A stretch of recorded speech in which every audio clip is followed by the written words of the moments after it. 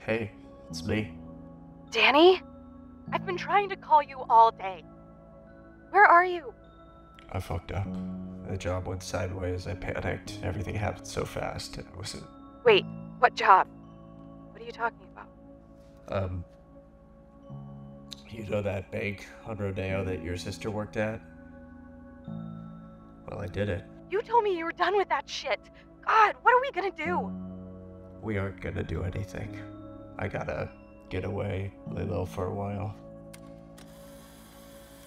Do you not love me anymore? Lydia, I don't know what to say. No, you know exactly what to say. You're just too big of a coward to say it. Goodbye, Danny.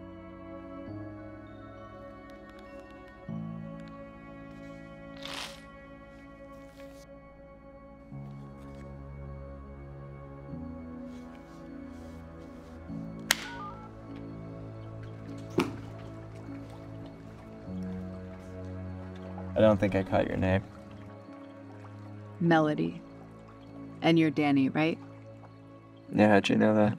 It's my job to know all about my visitors. Like I always say, making memories one guest at a time.